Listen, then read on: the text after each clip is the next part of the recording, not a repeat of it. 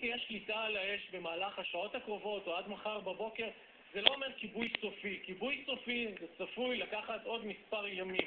זה סיפור ארוך, צריך לעבור פשוט על כל אזור ואזור, לדאוג שגיצים, אפילו גיצים קטנים, לא ידלקו מחדש ויבעירו למעשה את כל היער שעדיין נותר, כך שלפנינו, אם אנחנו מדברים עכשיו ביום שבת, יש לנו שלושה, ארבעה ימים לפחות, עד אשר נוכל להגיד, הכל מאחורינו. כן, וכאמור אנחנו מדברים כעת על שלושה מוקדים עיקריים, שניים מהם מוקדים חדשים לשרפות הללו,